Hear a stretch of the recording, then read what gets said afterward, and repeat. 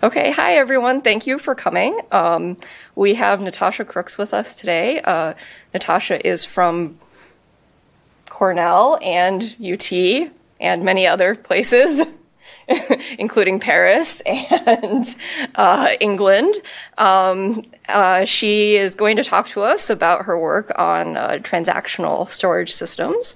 And uh, the first time I met Natasha, we are now the founding members of the uh, OSDI uh, distributed transactions fan club, which is how she ran into me and Adriana while we were talking about how much we love distributed transactions. And so this is very much keeping in in line with uh, what I know about Natasha. So yeah. Thanks a lot. Yeah, so I'm really happy to be here. As Irene said, I'm a PhD student at Texas and a visiting student at Cornell, so my Texas PhD mostly consists of me shoveling snow. But what I'm going to try and do today is, um, using my research in distributed systems and databases, is to try and convince you that placing applications at the center of how we reason about um, systems is key to improving both the performance and the semantics of transactional data stores. And what I mean by transactional data stores are key value stores or databases that support transactions. So I guess the first question that I should answer is why should you care about transactional data stores in the first place? Well, you should care because they're the software that allow applications to store data. And data is everywhere. Medical records are being placed online for better interoperability. Factories are placing sensors on machine parts to predict when they have to be replaced. And even your local baker is at it and is tracking customer food purchases to minimize food wastage. So, what's interesting here, or at least what I find interesting, is that the people designing these applications are usually highly trained domain experts, but they're not necessarily computer scientists. It may come as a surprise to you, but your local baker probably does not know much about distributed systems or Paxos. But in that ecosystem, um, applications need software solutions to store that data. So this is where the magic or the promise of the cloud comes in. The cloud basically promises simplicity. It offers managed solutions to collect and store data that require little technical expertise. And the way that I like to think about cloud storage systems is that they provide the abstraction of a failure free black box that will scale as much as one's wallet will allow. In that ecosystem, applications usually interact with a front end that acts as a valve, shielding applications from the complexity of distribution and scalability. Now, this all probably seems fairly obvious to you, but the point I want to highlight here is that because of this valve, applications only interact with the state of the system through the reads that they execute. And more generally, the fact that the cloud is a black box from the perspective of the application means that applications can only observe the external state of the system, not any of the system internals. And that has a number of consequences, both positive and negative. So, on the one hand, it introduces new challenges. The correctness guarantees of data stores, and I'll define correctness precisely later, are usually defined in terms of low level constructs like operation ordering or timestamps, that are no longer visible to applications in this black box model. On the other, not observing the internal state of the system actually brings opportunities. Specifically, it offers additional flexibility for implementation.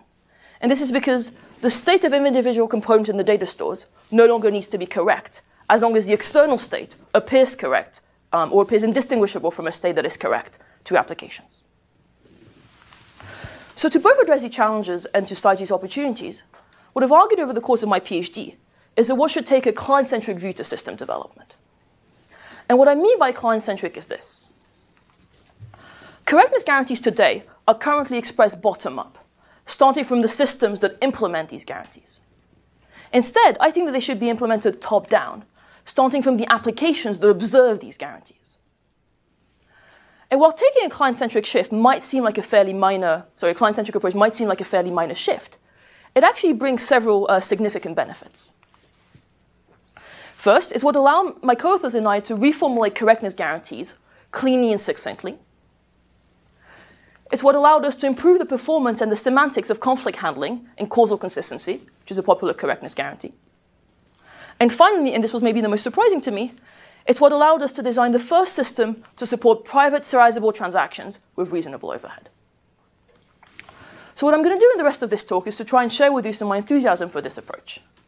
And to do so, I'm going to first focus on how this approach can improve our understanding of correctness in transactional data stores.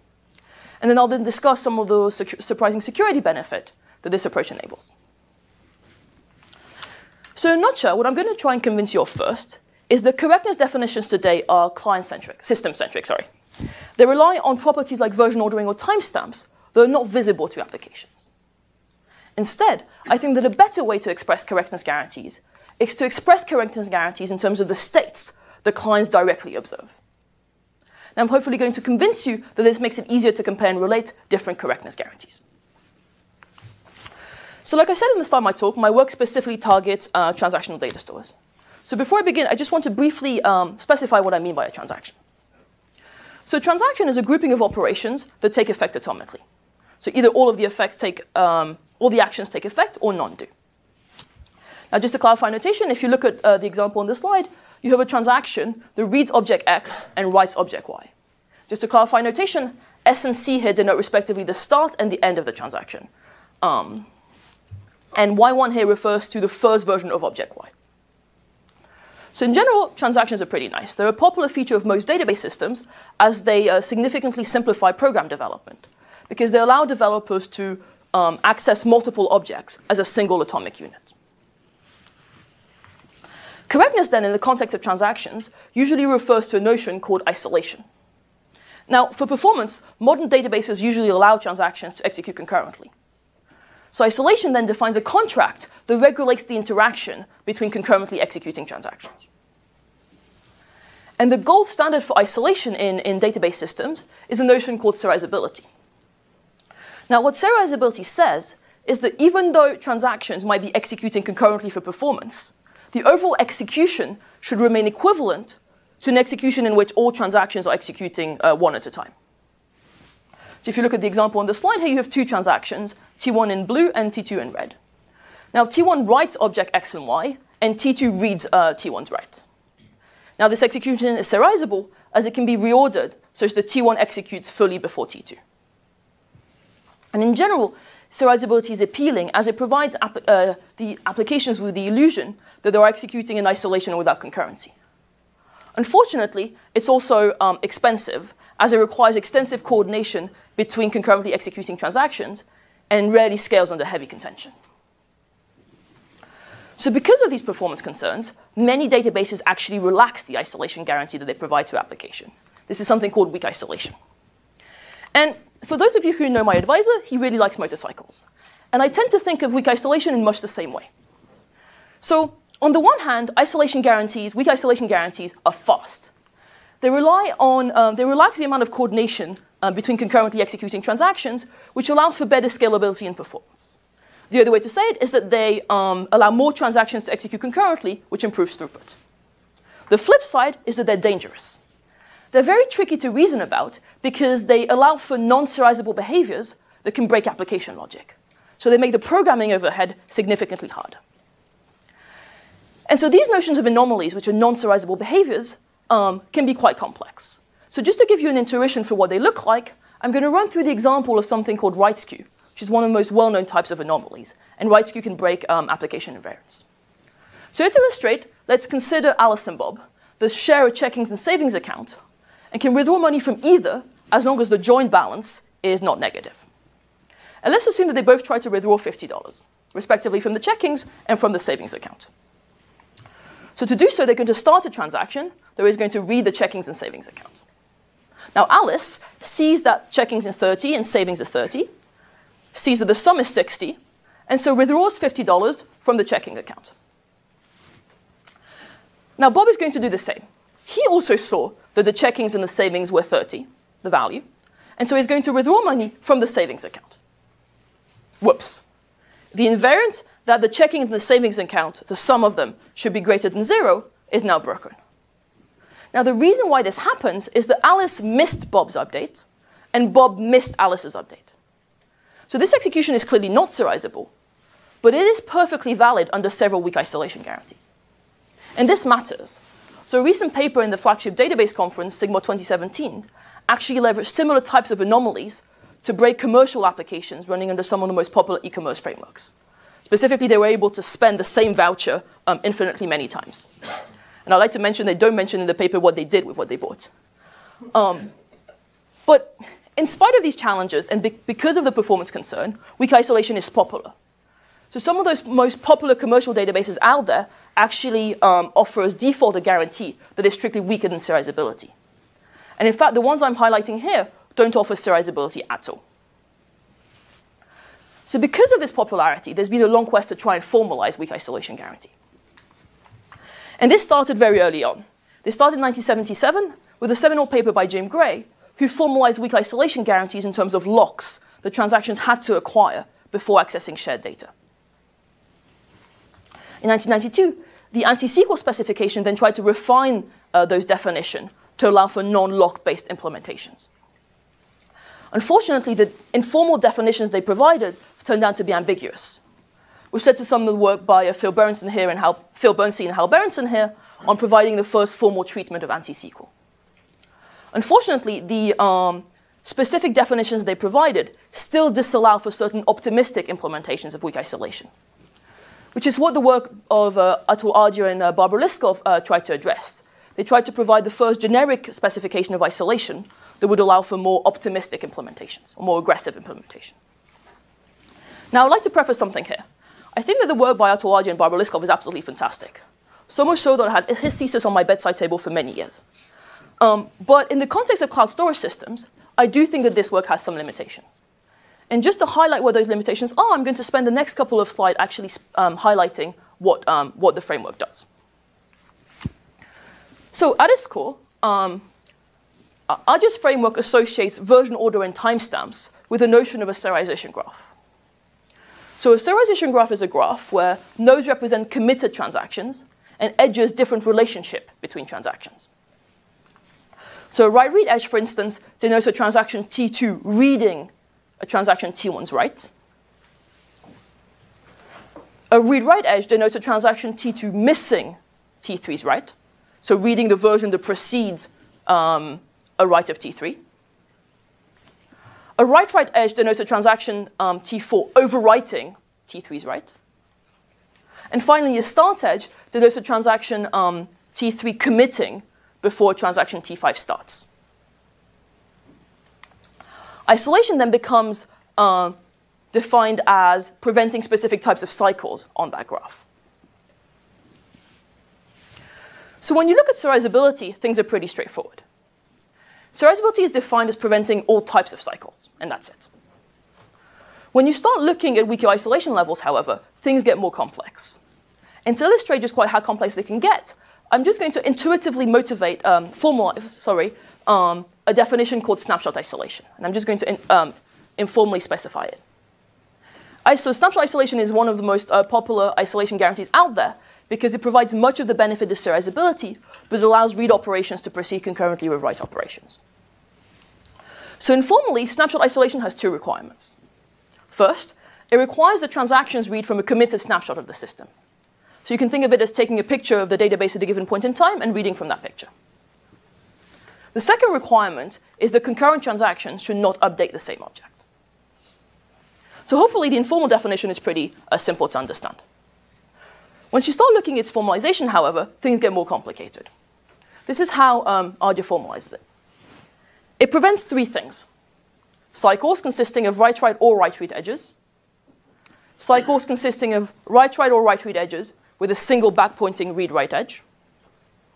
And finally, any write write or write read edge that doesn't also have a start edge. So as you can probably tell by the speed at which I'm going, I don't expect you to fully understand this. Instead, what I want you to take out of this slide is this is fairly complex, and it's unlikely to allow your tech-savvy baker to understand why a snapshot isolation allows an anomaly like write skew, for instance. And the second point I want to mention is that if you remember, I defined snapshot isolation informally as reading from a snapshot.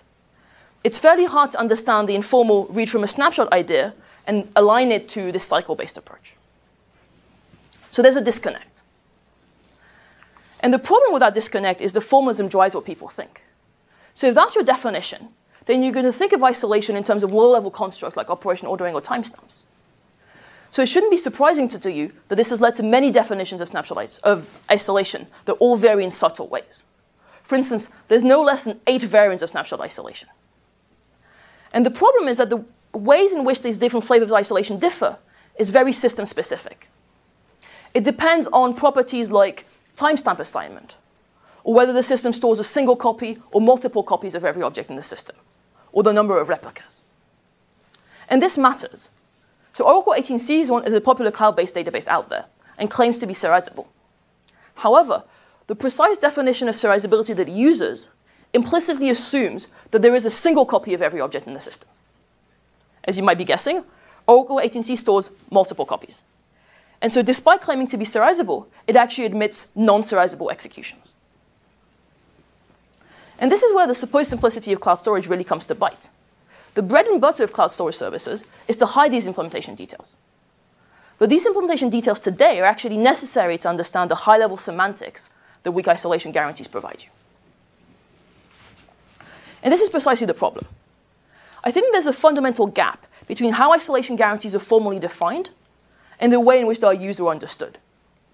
So, on the one hand, um, isolation guarantees are defined in terms of low level construct like operation ordering or timestamps.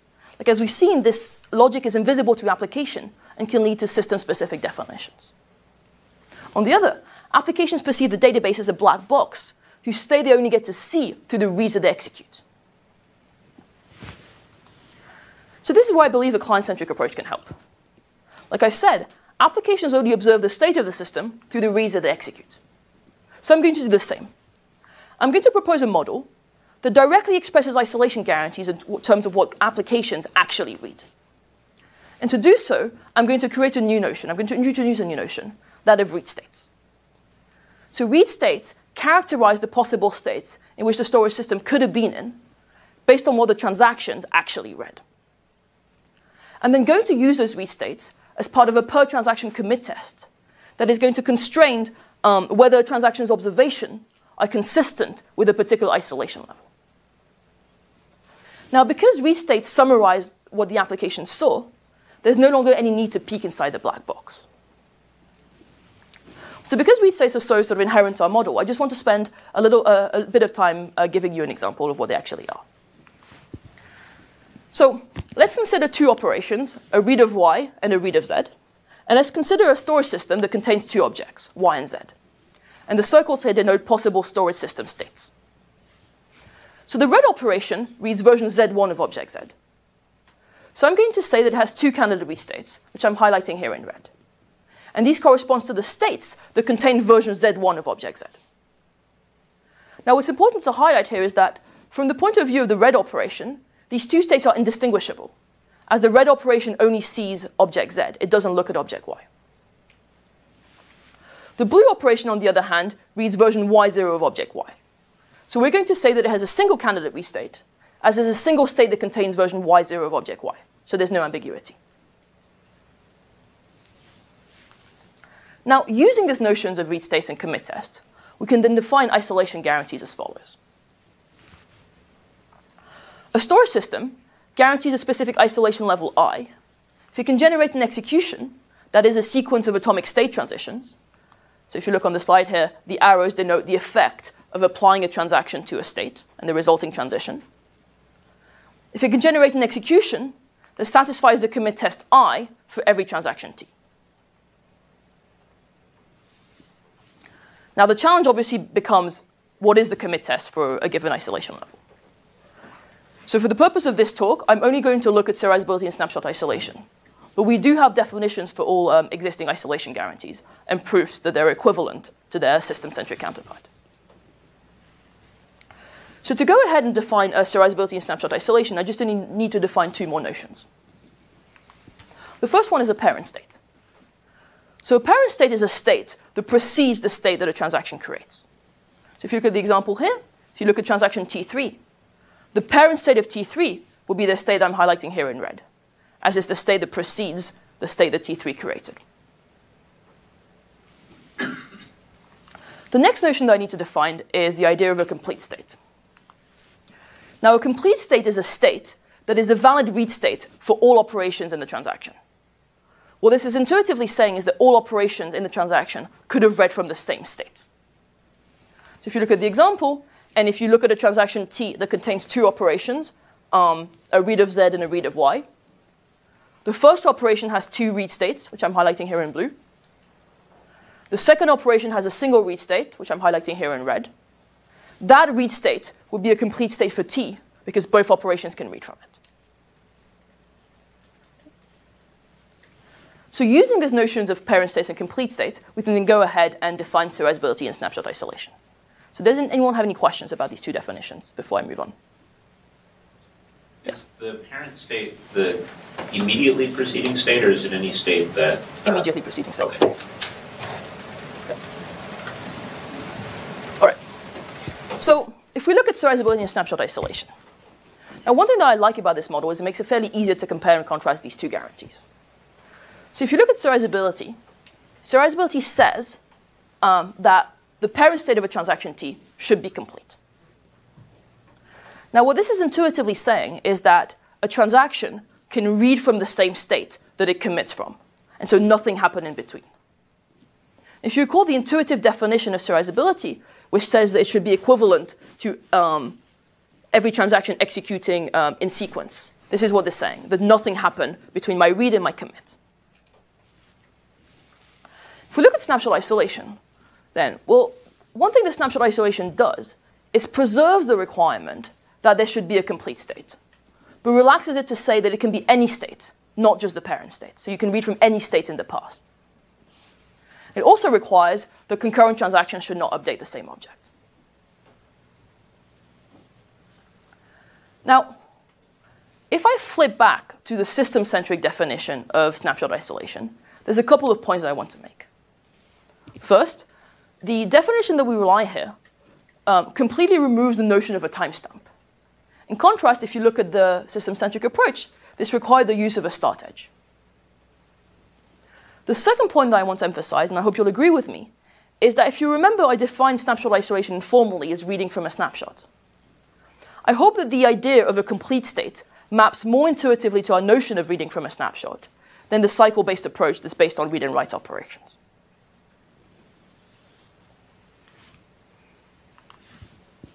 So, this is what I find nice about this model. Expressing isolation guarantees in a client centric way actually makes it fairly easy to separate high level guarantees from low level implementation details. And that makes it easier to compare and relate different isolation guarantees. So, you might remember that I said there existed no less than eight variants of snapshot isolation. Well, here they are. So, there's no need to worry too much about the acronym soup on this slide. The point that matters here is that these different flavors of isolation differ in how they compute um, snapshots, so how they assign timestamp. Now, it turns out that once you remove implementation details, like our model does, several of these isolation guarantees that people thought uh, dis- were distinct actually turn out to be equivalent. And we're able to prove that. On the other hand, when these low level implementation details do impact high level semantics, our model is still sufficiently expressive to capture their differences. And so we're able to use these two features to systematize snapshot isolation variants and derive the first clean hierarchy of these guarantees. So if you identify the right abstraction, um, it should have some semantic benefits. And hopefully what I've just done is to try and convince you that there is some amount of semantic benefit that can be gained by expressing isolation in a client-centric way. But I would argue that the right abstraction should um, have some performance benefit as well. And this is what I'm going to try and convince you of next that a client centric approach to system design can actually be the key to enabling good performance. So, before I move on, does anyone have any questions about the um, isolation framework? All right. So, the reason for why I believe that a client centric approach can bring better performance is the following. A client centric approach to enforcing correctness actually brings um, more flexibility to implementations because it allows implementations to cheat. So a, correct, um, a system-centric um, way of defining correctness requires that every component of the data store implement um, a particular correctness guarantee for whatever definition of correctness you might want. In contrast, a client-centric definition only requires that applications observe a correct data store, or state that is indistinguishable um, from a correct data store. So I've applied this idea uh, a couple of times over the course of my PhD. But the one that I want to focus on here, because I think is the most interesting to me, is this idea's application to security. So the rest of this talk is very much going to still be about a client-centric approach to transactional processing, but the domain is going to be slightly different. So there's going to be a slight change of pace, just to warn you. So in a nutshell, allowing the system to cheat is what allowed us to design the first system to support um, oblivious serializable transactions. And what I mean by that is to design a cloud based data store that supports serializable transactions while also hiding from the cloud access patterns. And what I mean by access patterns are hiding what data is being accessed, so what object, when that data is being accessed, so how frequently, and how that data is being accessed, so whether it's a read or a write operation. And um, the sort of core idea that allowed us to do that was the following. Traditional definitions of serializability state that serializability should only apply when a transaction commit. It only holds for committed transactions. We reformulated that in a client-centric way to say the serializability should only be enforced when clients observe that a transaction has committed. Because that's the only time where they get to see that a transaction has committed.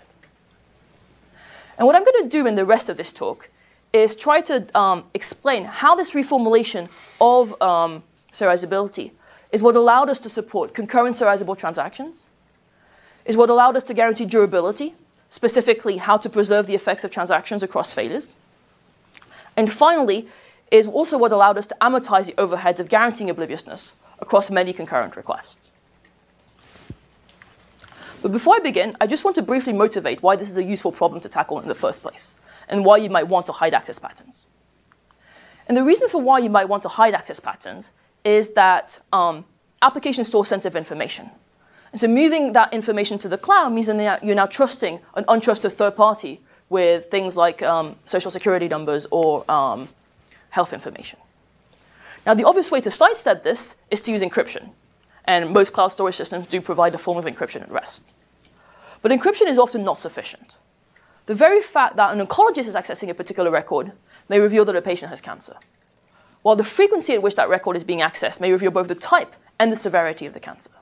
And this is because chemotherapy appointments actually have a very specific schedule to them that is very unique to specific cancer types and specific stages of cancer. So, in order to protect um, uh, sensitive information, it is at least desirable to hide metadata about how you're accessing the, the records, not just the content of the records. And we're going to do that in a setup that mirrors uh, the cloud storage uh, black box uh, approach that I've been uh, talking about. And we're going to call this the trusted proxy model. So, like the name says, this model assumes a trusted centralized proxy through which clients communicate with an untrusted cloud storage. So, you can think of it as a set of doctors um, talking to a, a, server on the hospital um, local area network, but storing uh, data on a service like um, Amazon or Azure um, over the wide area. Now, we're also going to make the more realistic assumption, and we're going to extend prior work in doing so, that um, clients in the, the clients in the proxy can fail, but the cloud storage is reliable. So you can think of it as a doctor tripping over the power cord um, of the servers of the hospital's basement, but having many smart engineers uh, provide the abstraction of reliable cloud storage. And the system that we're going to design, Obladi, is going to oblivious, maintain obliviousness by religiously maintaining one invariant, that of workload independence. And what workload independence says is that the request pattern sent to the untrusted cloud uh, must remain completely independent of the workload, of any concurrently executing transactions. And what this does is that the cloud storage will learn, never learn any information about the request simply by observing the writes that are being executed on the cloud, because there's no correlation between those requests and the actual workload. So the challenge becomes how can we guarantee workload independence in the presence of transactions? So, and in at that core, transactions are basically uh, a bunch of read and writes. So we're going to take as a starting point a protocol that guarantees workload independence and hides access patterns for reads and writes. And that's Oblivious RAM, or ORAM. And at its core, the way that ORAM ensures workload independence is basically by making all requests to cloud storage look completely random. So because they're random, or they appear random, they're completely independent of the workload. Now, there's been a large body of work on ORAM constructions, and I don't claim to be able to summarize them all here. But I just want to give you the intuition uh, for how they guarantee workload independence. So, at the very, at the very highest level of abstraction, an ORAM construction takes logical read and write operations, so the ones that the client executes, and generates a set of physical reads and writes to cloud storage such that the physical location of objects on the cloud remains hidden. So to achieve this, the proxy is going to hide requests for real data among requests for dummy data. As the data is encrypted, the cloud storage cannot distinguish which requests are for real data and which requests are for dummy data, and consequently learns no information about the requests. Now, obviously, this is at the very highest level of abstraction, and the, there's many, um, many, uh, much research in uh, the subtleties of guaranteeing workload independence given this broad context. But hopefully, these give you an intuition. And at the very highest level of abstraction, this is sufficient to guarantee workload independence for reads and writes. But when you start looking at transactions, however, there's several new challenges that emerge. The first one was how do you guarantee isolation if you're trying to execute concurrent transactions? Specifically, how do you do concurrency control? The second challenge is how do you guarantee durability? And the specific problem here is that durability requires a very specific ordering of writes for, uh, for consistency, while the ORAM requires an equally specific but different ordering of writes for security. And finally, how do you guarantee good performance when most ORAM constructions afford only limited concurrency? So, like I've hinted at the start of my talk, we're going to answer these questions by relying on a simple principle that of delayed visibility. Now, delayed visibility embraces the client centric approach that I've been advocating. It recognizes that serializability guarantees must only be enforced when a client observes that a transaction has committed, but makes the additional observation that commit operations can be delayed. And we're going to use this observation to partition the system into fixed time, fixed size epochs and delay commit notifications until the end of the epoch, until the end of each epoch. Now, because serializability must only be enforced for um, transactions that the client sees as committed, delaying commit notifications until the end of the epoch means that we're only required to enforce consistency and durability at epoch boundaries only.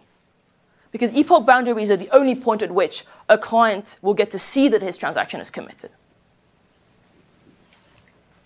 Now, because we can, um, because we're only enforcing um, consistency at epoch boundaries, writes don't have to be durable until the end of the epoch. And this actually allows us to execute transactions at the trusted proxy, which is not reliable, and buffer intermediate versions of each write in a version cache until the end of the epoch. Again, we can do that because the only point at which we have to guarantee durability is epoch boundaries. Now, this approach actually has two benefits that help improve performance. First, it's going to reduce the number of requests that we have to send to the ORAM. And this is because, as we only guarantee durability at epoch boundaries, it is sufficient to write the last version of every key only to cloud storage and skip all the intermediate versions. So if you look at the example, you have two versions of B that have been written um, in a version cache over the course of an epoch. It is sufficient to write the last version of B only, skipping the red version, because that red version does not need to be made durable. The second benefit that comes from um, buffering intermediate writes is the ability to implement a multi-version serializable concurrency control on top of a single version ORAM. And for those of you who aren't familiar with this, multi-version concurrency control allows read-only transact read operations to proceed concurrently with write operations. And so this allows us to significantly speed up read-only transactions. And for those of you interested, uh, we chose an algorithm called um, multi-version timestamp ordering. Yeah. The assumption here is that there's a single proxy in front of the cloud, and all of the doctors that will ever interact will, will talk to the same proxy. Yes. Which has some scalability problems, as you hint, are hinting at. Distributing the proxy um, actually introduces two challenges. One is obviously you have to do distributed transactions, but that can be done relatively efficiently. The main challenge is that the communication between those two um, copies of the proxy uh, needs to be um, oblivious as well. And so if the network is untrusted between the two proxy, that's actually an open question. If the network is trusted, the proxy could be decentralized relatively efficiently. So the choice of concurrency control is actually quite important. Um, we want to ensure that delaying commit notifications does not increase contention. Likewise, we want to ensure that um, transactions within the same epoch can actually see each other's effects. For instance, we want the um, read of the dark blue transaction to see the effect of the um, red transaction. the write of the red transaction. So to enable this, we actually chose a concurrency control that optimistically exposes uncommitted writes and aborts serializability violation at commit time. And again, the reason why we can do this is because um, we only need to guarantee consistency at epoch boundaries only. And that's why we chose a multi-version timestamp ordering. So this is all I'm going to say from the performance side.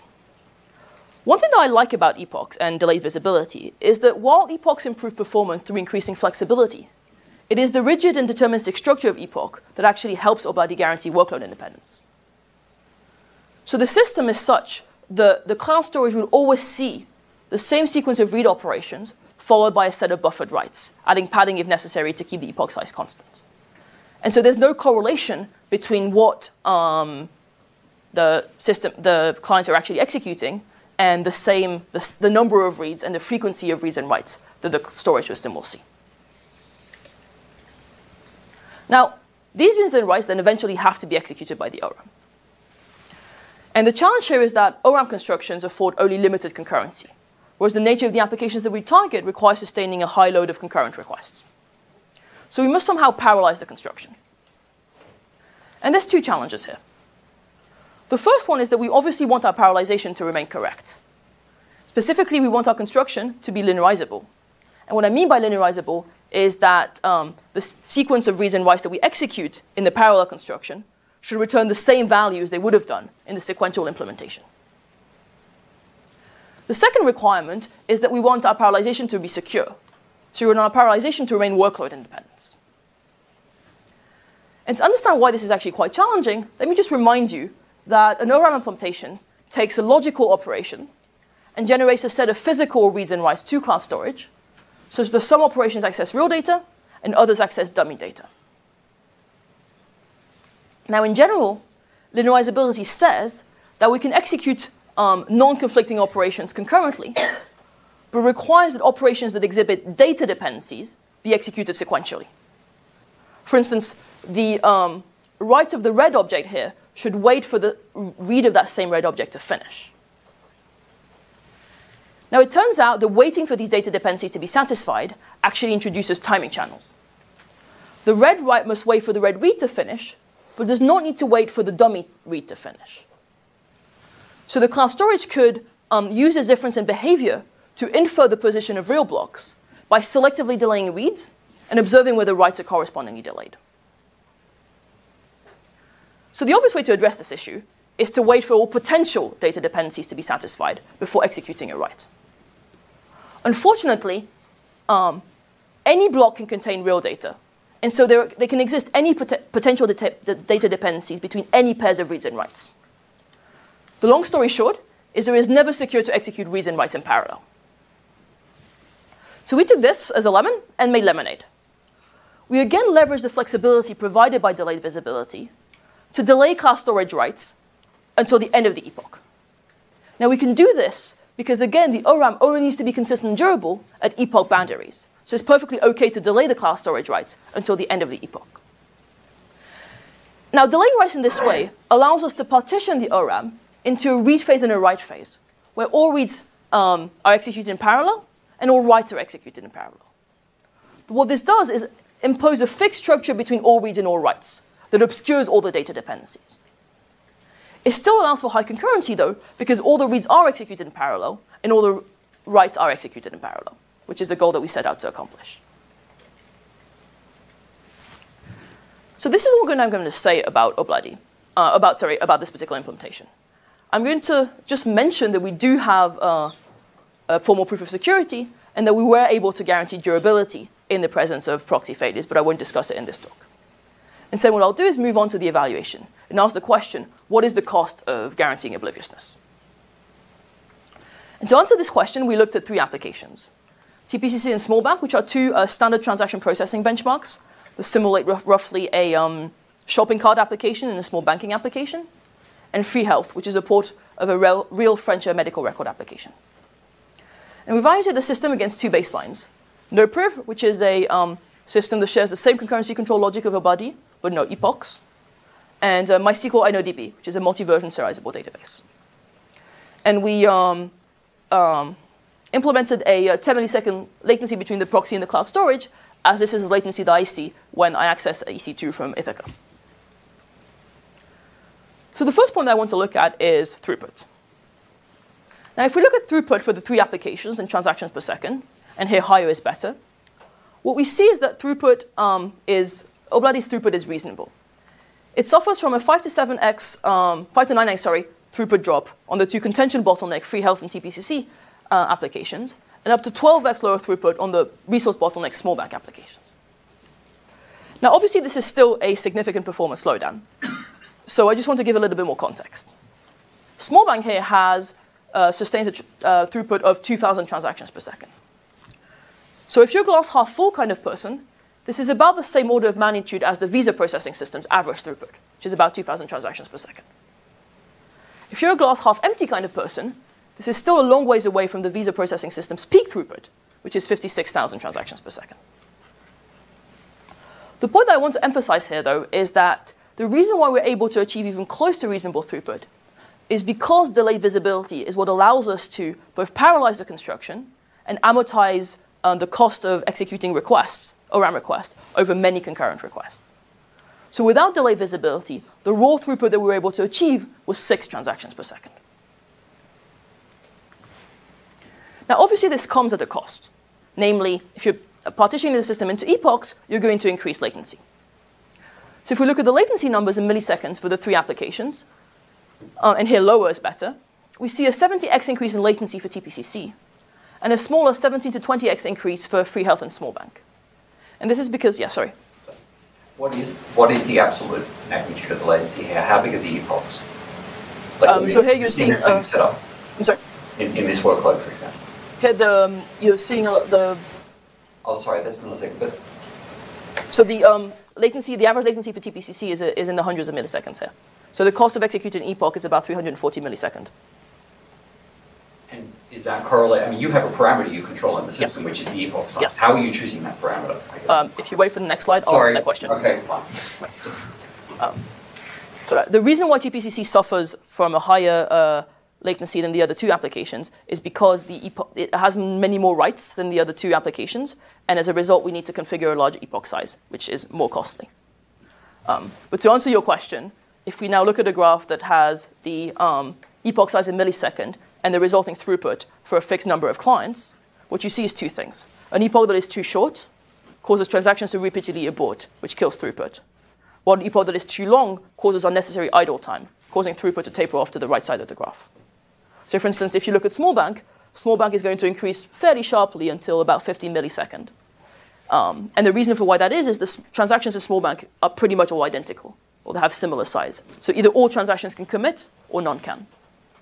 If you look at TPCC, however, which is the, the blue, uh, sorry, the red line on the graph, um, TPCC has transactions that come in all shapes and sizes. And so the shorter transactions start being able to commit first uh, before the longer ones, which is why the increase is much softer. Presumably you can't tune that adaptively because if you did, it would be a side channel.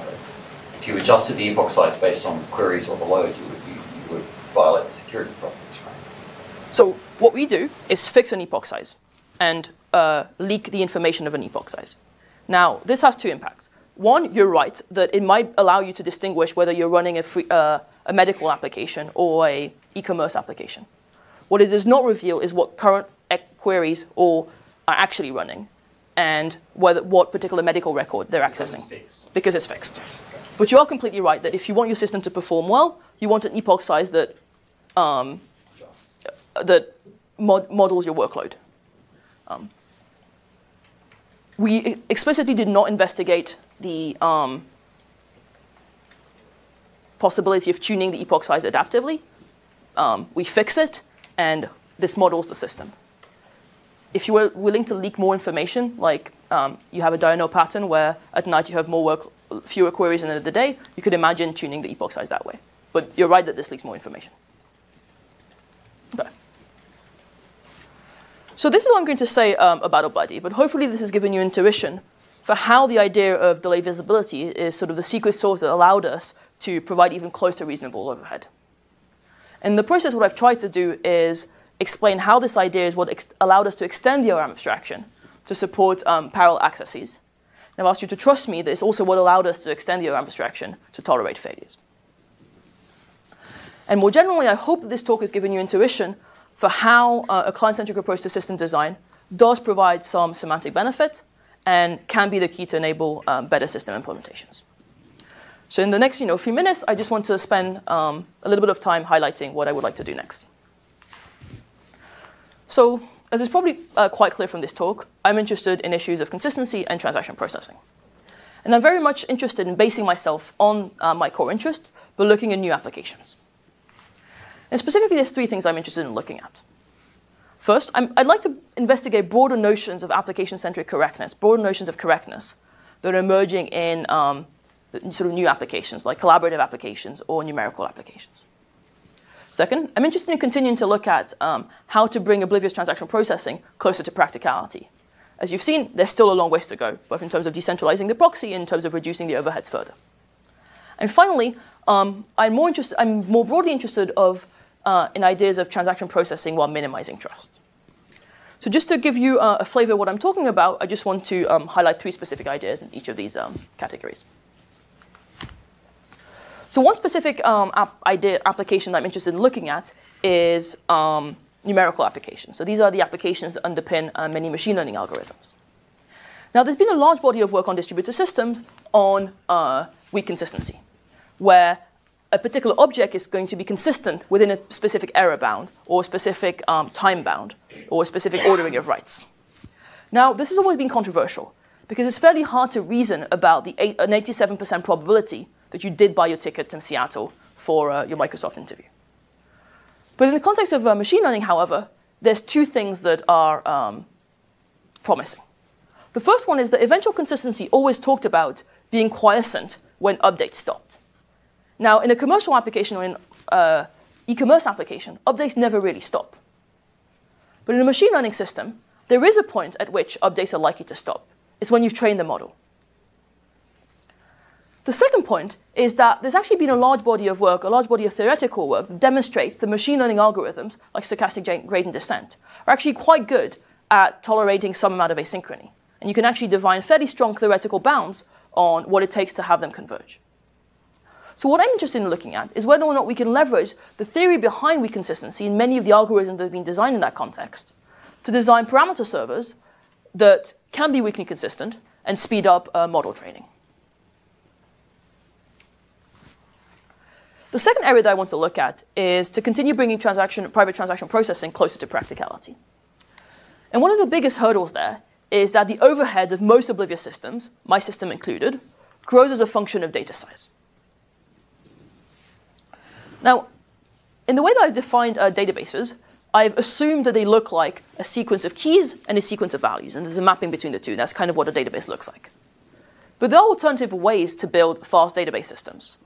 One of which is by using a log, where you have a, vast, a very fast shared log the transaction that um, users update, and the way to recompute the state is to replay the updates. Well, it turns out that because you're replaying the updates, log structured databases are already oblivious. The problem is that the client playback of replaying the updates becomes a bottleneck.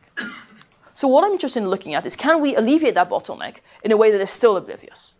And is that an easier problem than providing oblivious across the data size? And the last um, problem I'm interested in looking at is how can you execute um, scalable shared computation um, between untrusted parties? So I would argue that we already know how to build uh, the storage for um, trusted scalable computation. It's called a database. And the underlying abstraction that allows these systems to scale is that they provide a partially ordered um, set of operations, where conflicting operations are um, ordered, but non conflicting operations are not. And what this allows us to do is to execute non conflicting operations on disjoint shards and scale the system horizontally in that way. We also know how to execute um, shared computation between untrusted third parties. That's called Byzantine fault tolerance. Unfortunately, the abstraction that is provided by Byzantine fault tolerance system is that of a totally ordered log, where every operation must be processed by every replica. So there's horizontal scalability, but there's absolutely no vertical scalability. Horizontal scalability, sorry. So my question is, how can we combine the two? How can we build a system a Byzantine fault tolerant system that provides this abstraction of a partially ordered set of transactions. So the sort of flashy question here is how do you do two phase commit when you don't trust the person running the two phase commit? So with that, I'd like to acknowledge that this is the work of many collaborators and I, uh, some of which are in this room. And um, I'll be happy to take any questions. Thank you very much.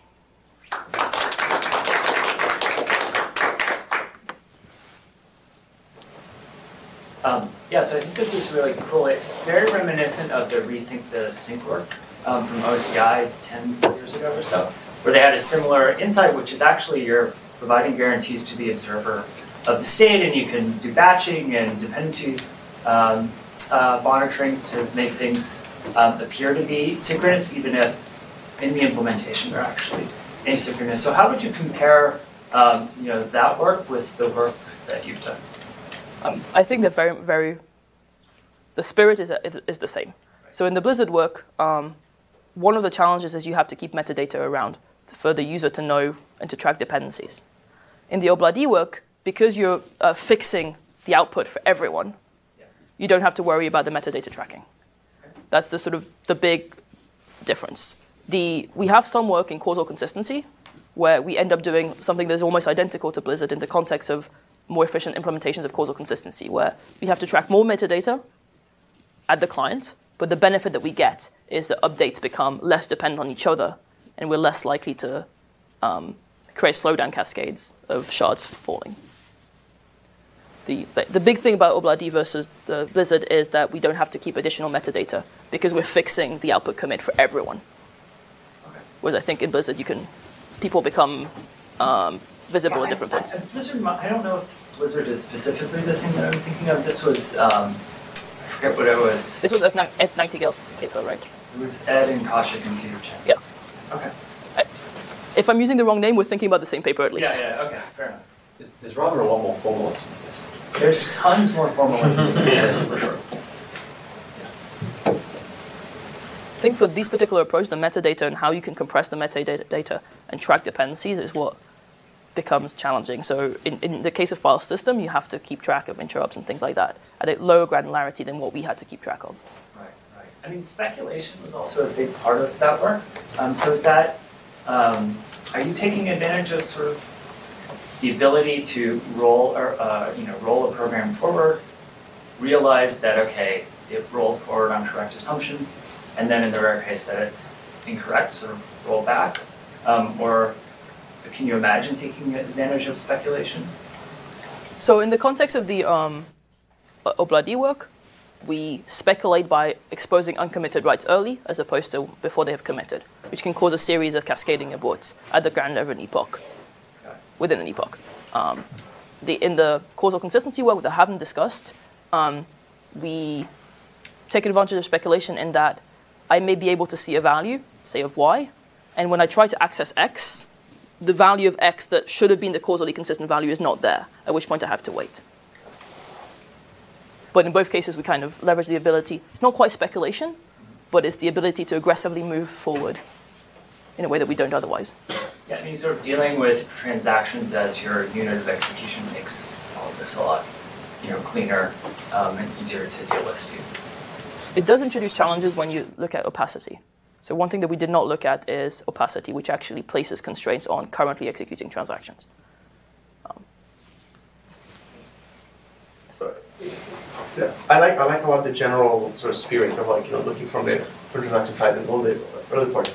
On the on the ability part, I I have like a very very simple practical question if you want. Right? If I were to take uh, MySQL 5.7, put in your proxy, and just keep shipping the encrypted logs in the back, and once in a while take a, a, a database, a backup of the entire database, and just shove it in the storage. How far uh, performance will be local MySQL, so it will be as good as MySQL, right? um, how what what are, what are the problems you see with like just taking your proxy approach and just like making it as silly as, as simply running MySQL and sending out the uh, encrypted logs? So the big problem comes from the amount of information that you're having to transfer um, at every time. So okay, two things. One, um, because you can't reveal how many op- operations have changed, how many da- how much data has changed. Every time you compute a backup, you would actually have to uh, compute the backup locally entirely and uh, ship it. So there's no mechanism for doing diff because the diff would leak information about the size of how many operations have changed. Now, if you're happy to pay the end cost of periodic backups, um, you're still assuming that all the information can store can be can be held exclusively at the proxy. So in, in our system, what we do, we, we leverage caching and we leverage the fact that a subset of the data can actually be uh, stored locally, but we don't make the assumption that everything can be stored locally. Because I think in the scenario that you're describing, you do make that assumption.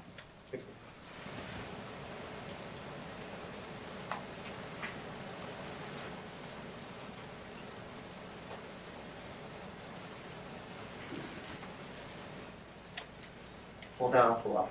Um, how, like in practice, how often that assumption is not valid? Like when I, when I do transactions, how, how many use cases we have where I need a petabyte of transactional store? And how many times is the transactional store is like whatever, 10 terabyte or 5 terabyte or 1 terabyte or less, right? Um, like, how, you see what I'm saying? Like, you know, the- I- the- so I think it dep- ob- obviously you're advancing the state of the art. We're understanding the space better. Like, I, I appreciate all of it. I'm saying if, if, if I take a really industrial, very, very, very practical take on it, you know, how, how much of this is already needed or how much of this is like, you know, we're going to need in, in, in a few years? One thing that I completely would like to do is to remove this proxy so that everything can be placed directly in the cloud storage.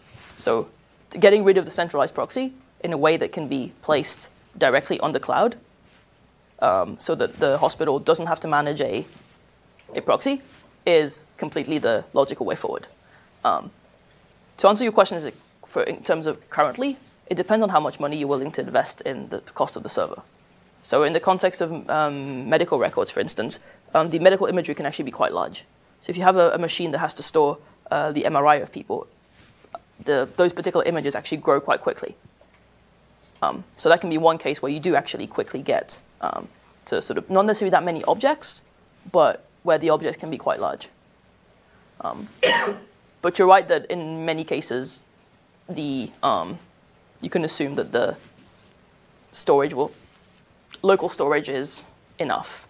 What we found is that when we're looking at a lot of the IT um, space, medical IT space, people offload data to cloud storage not so much for scalability, but for fault tolerance. Um, at which point, the logging solution that you were describing becomes interesting. But diffing the log for checkpointing is not something that we're able to find out how to do efficiently yet. Thank you. So um, on your, your second piece of future work, the sort of consistency for parameter server stuff, um, so that, uh, that I think that's really interesting because the consistency of parameters over time changes. So you know, very early on, it makes sense to provide like really strong consistency guarantees because you're sort of not sure where um, your learning is going to go.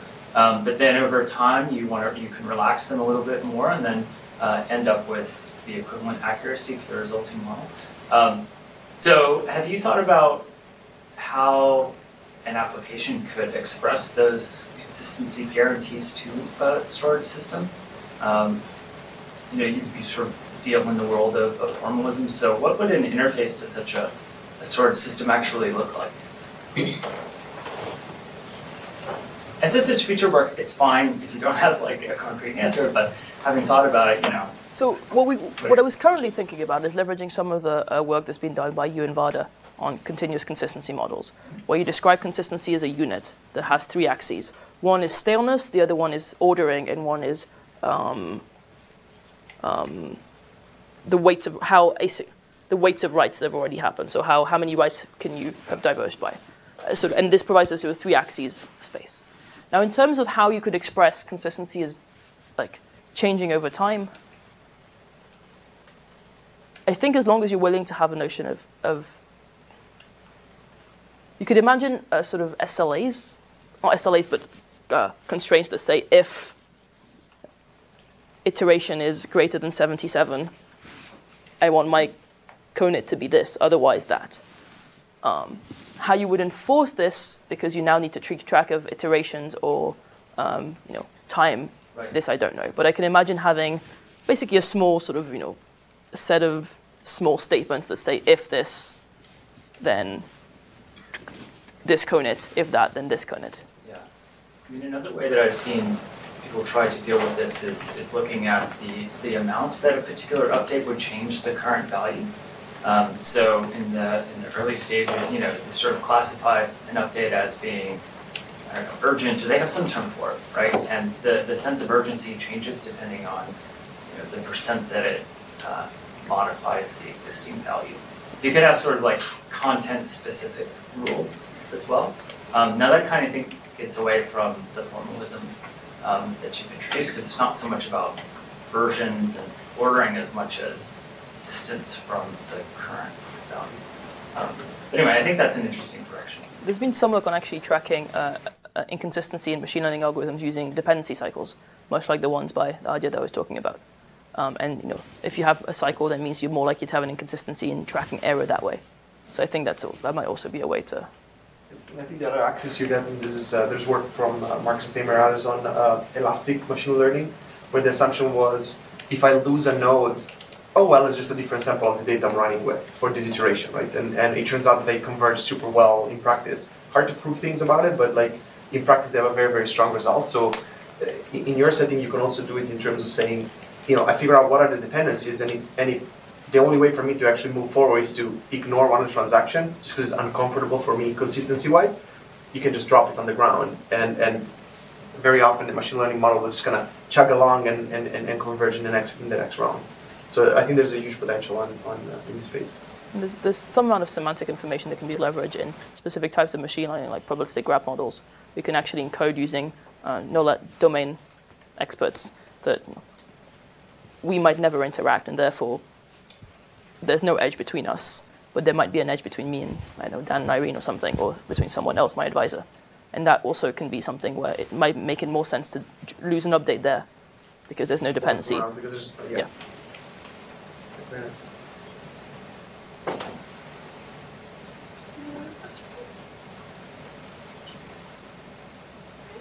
oh, let's thank the speaker.